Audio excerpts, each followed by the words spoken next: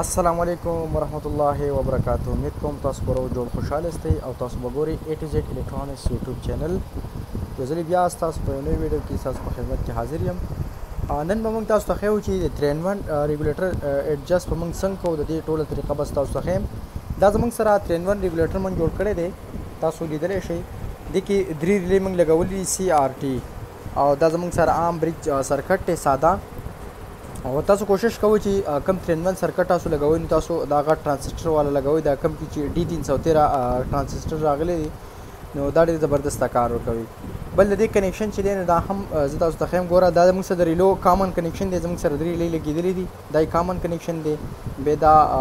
فرست ریلی دا بیا دا سیکنډ او دا ترډ دا ریلی دی زمونږ سره بیا زمونږ سره کې وایرک دی د دې وایرک په په 3 1 ایډجسټ کې د وایرک ډیر زیات ضرورت دی او چې په وایرک باندې تاسو کله اډجسټمنټ وکړئ نو هغه به بالکل په لیول باندې اکثر ځینې خلک په ریګولیټر باندې کوي خو هغه صحیح نه ګور دا تاسو لمخې اوس کوم ګور زموږ سره ریګولیټر ته کوم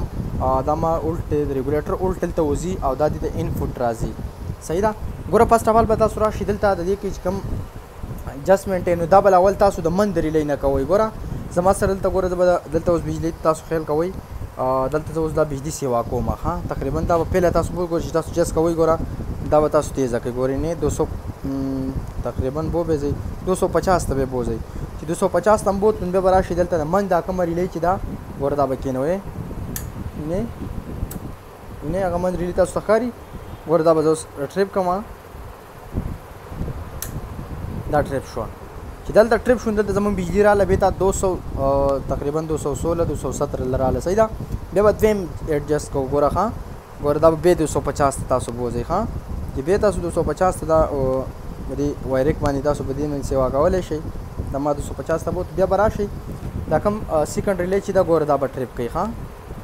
ګورین هغه سر ته چې کوم ریلی ګوره دا به ټریپ کیږي ښا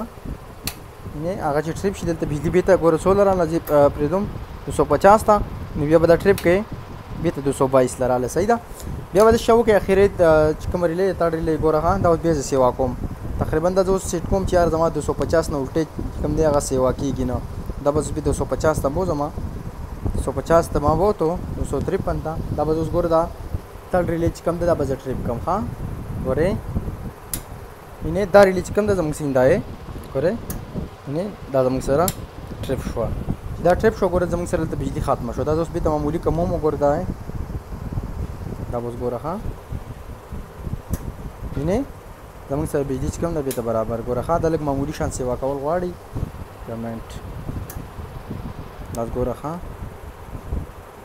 دا ساټ دی او چې کله داسې معمولي لکه په پچاس منې ټریپ شي او بیا نه کمېږي بیا لږه معمولي شان خو دا جس چې دی دا به ډېر په طریقه باندې تا وهایي خو رقم معمولي چې زموږ سره ګور بجلې دا ټریپ شوه دا سپي ته کمومه ګوره ښه مونږ سره وینې دو سو پنتالیس زمونږ ځه های ولټیج دی صحیح ده ګوره دا زه اوس بیرته چیک کوم ها دا زه اوس مثال ریګولیټر ځه کموم دا مونږ سره مثلا د زین ولټیج کمیږي ګوره دا به په خپل تیزیږي بیرته واپس ها ګوره نه یو ریلیو سي پاسه د بیت 220 لاړه صحیح ده بیا واپس راکم شه ورخه ان بیت 220 له 215 له ولټیج دي صحیح ده نو په دې طریقې سره تاسو د 3 1 ریګولیټر اډجسټمنټ کولای شئ ډیره ایزي اسانه طریقه ده او ماجي تاسو دا ویډیو ضرور شیر کوم کو ویډیو خوښه شوی زمونږ ویډیو ضرور مخکې شیر کړئ او چینل کني سبسکرایب کړئ چینل سبسکرایب کړئ راتلونکي ویډیو پورې په لوی لاس پارم په لوی لاس پامان